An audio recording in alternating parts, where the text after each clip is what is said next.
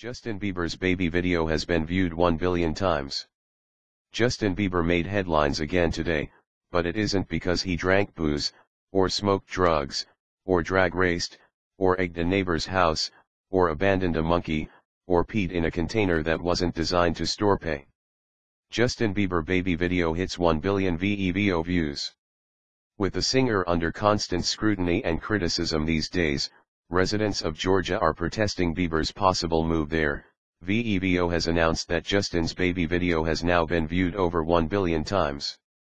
Justin Bieber releases Broken as baby hits 1 billion views. Broken is Bieber's first release since his January arrest on drunk driving and resisting arrest charges. The 19 year old star has been at the center of even more media attention than usual, with focus on his DUI, drug use, and assault involving his bodyguards. Justin Bieber's Baby hits 1 billion Vevo views. Justin Bieber's Baby his 2010 breakout single, has officially reached 1 billion views on Vevo.